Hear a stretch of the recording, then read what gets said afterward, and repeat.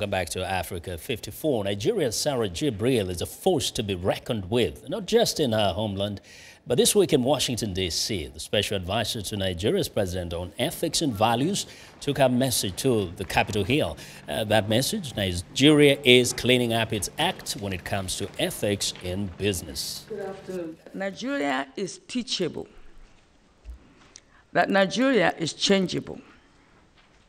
Nigeria is developable and Nigeria is transformable.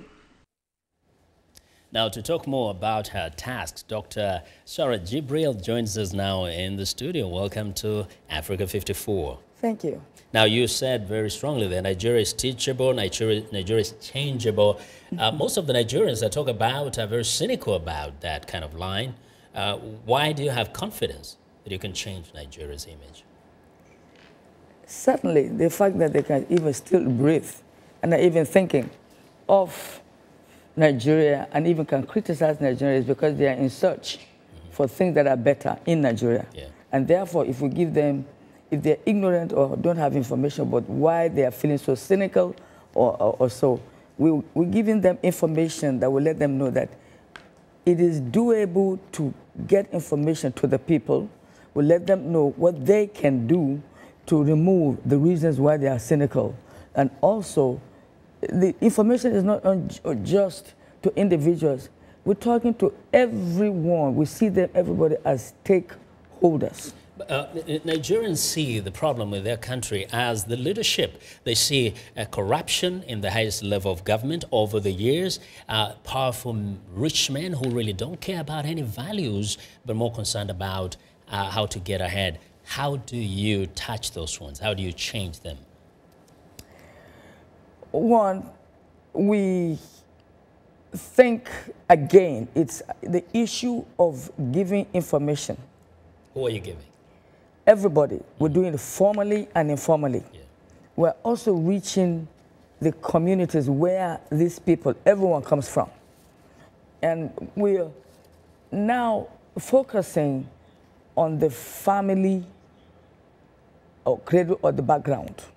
The sense that we want to enlighten everyone that, listen, if you really want to get away from the situation of, of, of being neglected, the injustice, the uh, lack of access to economic activities, then know that other countries that are also organized, it is because they capitalize very much on the foundations of character building, character development, effective but, parenting that's a message that, uh, that a message that can go down well uh, with those who are poor, but to the most powerful men, yeah, because even those they don't are, really care. No, they, they, are, they are being made to care because they too have families.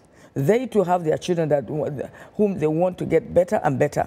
And we are simply saying that you cannot just turn your back to feel you are the only ones existing. If you have been privileged, you are even paid by the taxes of these people. You have the responsibility to feel about them. That's why we are being paid yeah. to think of the needs of these people. That are, that are, and even the need to see the examples of effective leadership. Yeah. And therefore, yeah. it is the knowledge and the skill of, of applying the issue of ethics, which we call good, uh, good character. Yes. And in Islam, we call it Sharia. In Christianity, we call it righteousness. So there is no any big or small or or, or male person that will what, feel they have, don't have instructions of yeah, behaving well. Yeah, some, some say that one of the biggest problems is that there's a culture of uh, uh, worshipping uh, opulence and uh, you know materialism, and so those who don't have are aspiring to get, those who have are getting even more. What counts is what you have, how much money you have, and you will be followed around, you'll be worshipped. How do you change that? Well, we just simply establish that it is wrong philosophy, wrong attitude to life, that we are talking of the quality, quantity of things to possess, mm -hmm. and then rather to talk of the quality of the being of the person. And this message must go to the brains, the senses, and the thinking of, of, of the politicians, the political leaders.